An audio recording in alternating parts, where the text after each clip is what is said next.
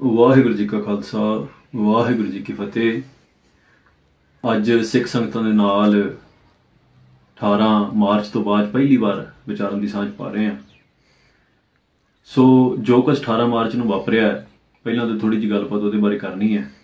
ਜੇ ਸਰਕਾਰ ਦੀ ਮਨਸ਼ਾ ਕੇਵਲ ਗ੍ਰਿਫਤਾਰੀ ਦੀ ਹੁੰਦੀ ਤੇ ਸਰਕਾਰ ਸਾਨੂੰ ਕਰਵਾ ਕੇ ਗ੍ਰਿਫਤਾਰ ਕਰਨ ਲਈ ਕਹਿੰਦੀ ਤੇ ਅਸੀਂ ਗ੍ਰਿਫਤਾਰੀ ਦੇ ਵੀ ਦਿੰਦੇ।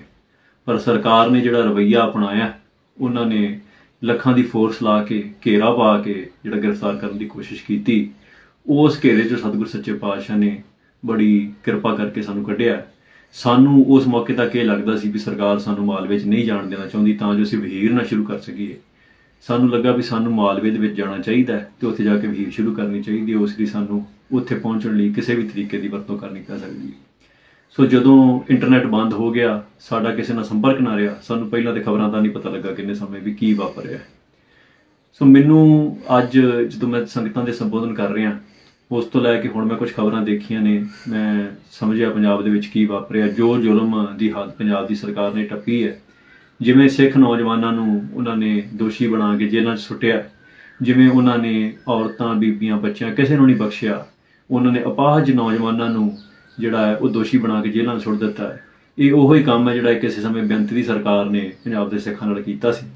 ਸੋ ਦੁਨੀਆ ਭਰ ਦੇ ਵਿੱਚ ਰੋਸ ਮੁਜ਼ਾਹਰੇ ਹੋਏ ਪਹਿਲਾਂ ਤੇ ਸਾਰੀਆਂ ਸੰਗਤਾਂ ਦਾ ਮੈਂ ਤਹਿ ਦਿਲੋਂ ਧੰਨਵਾਦ ਕਰਦਾ ਜਿਨ੍ਹਾਂ ਨੇ ਮੇਰੀ ਗ੍ਰਿਫਤਾਰੀ, ਉਹਨਾਂ ਨੂੰ ਲੱਗਾ ਸੀ ਗ੍ਰਿਫਤਾਰੀ ਹੋ ਗਈ ਹੈ, ਜਾਂ ਕਿਸੇ ਵੀ ਸੰਬੰਧ ਦੇ ਵਿੱਚ ਉਹਨਾਂ ਨੇ ਰੋਸ ਮੁਜ਼ਾਹਰੇ ਕੀਤੇ। ਸਾਰੀਆਂ ਸੰਗਤਾਂ ਦਾ ਧੰਨਵਾਦ ਹੈ, ਜਿਨ੍ਹਾਂ ਨੇ ਮੋਰਚੇ ਲਾਏ, ਜਿਨ੍ਹਾਂ ਨੇ ਗ੍ਰਿਫਤਾਰੀਆਂ ਦਿੱਤੀਆਂ। ਪਰ ਸਾਡੇ ਹਾਲਾਤਾਂ ਲਈ ਇਹ ਸਮਝਣ ਦੀ ਸਾਨੂੰ ਜ਼ਰੂਰਤ ਹੈ ਵੀ ਇਹ ਕੱਲੀ ਮੇਰੀ ਗ੍ਰਿਫਤਾਰੀ ਦਾ ਮਸਲਾ ਨਹੀਂ। ਇਹ ਮਸਲਾ ਸਿੱਖ ਕੌਮ ਤੇ ਹਮਲੇ ਦਾ ਹੈ। ਮੈਨੂੰ ਗ੍ਰਿਫਤਾਰੀ ਦੇਣ ਤੋਂ ਨਾ ਪਹਿਲਾਂ ਡਰ ਲੱਗਦਾ ਸੀ, ਨਾ ਅੱਜ ਲੱਗਦਾ ਹੈ। ਸੋ ਇਸ ਕਰਕੇ ਮੈਂ ਸੰਗਤਾਂ ਨੂੰ ਅਪੀਲ ਕਰਦਾ, ਜਿਹੜੀ ਜਥੇਦਾਰ ਸਾਹਿਬ ਨੇ ਇੱਕ ਮੁਲਾਕਾਤ ਸੱਦੀ ਸੀ, ਉਹ 'ਚ ਇੱਕ ਫੈਸਲਾ ਹੋਇਆ।